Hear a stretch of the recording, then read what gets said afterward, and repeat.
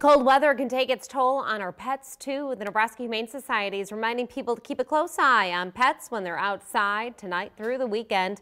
Long exposure to the cold, wind and wet conditions can lead to frostbite for pets too. It's important to make sure they have a place that they can go to get out of the elements, but it's also important to double check your surroundings to make sure they haven't cozied up somewhere they could get hurt.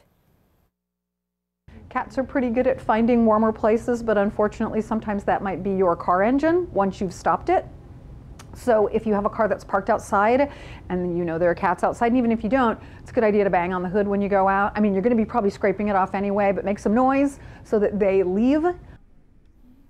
Pam Wiese says it's also important to make sure pets have access to fresh water, so make sure you're double checking to make sure that water bowl isn't frozen over in these conditions.